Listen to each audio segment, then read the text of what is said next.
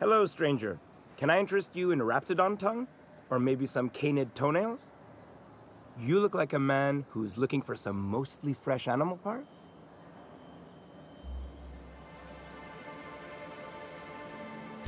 Huh. I haven't seen her in a few days, but I've been meaning to ask her how that Raptidon acid is working out. I hope it's working okay, because no one else really seems interested in this stuff.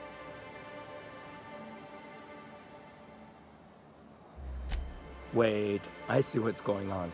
She put you up to this so she could get a discount, hmm? Oh, no, that's not it at all. She's smitten with you.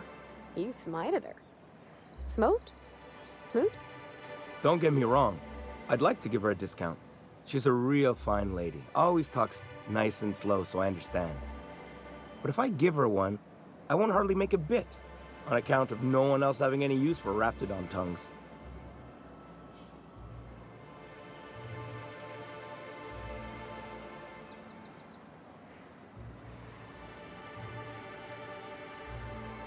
You sound pretty sure. And she is awful nice. Give her a chance. Give yourself a chance. Take her someplace nice. Okay, I'll do it.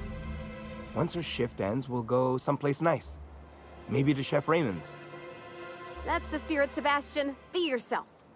Between you and me, Captain, I'm not sure Miss Celia knows him too well. But we can hope, right? I want them to be happy.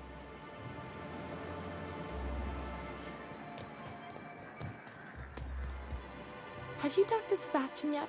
What did he say? Okay, but how did he say it? Did he sound excited? Or like he was just agreeing to it? Was he like, yay, a date with Celia? I've secretly been waiting for this. Or was it more, sure, I don't have anything else going on?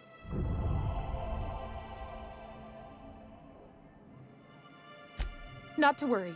If I never buy another Raptidon tongue, it'll be too soon. Ah, look at me going on. I'm sure you've got other things to do, and Mr. Nandi's giving me that back to work look. Anyhow, thank you.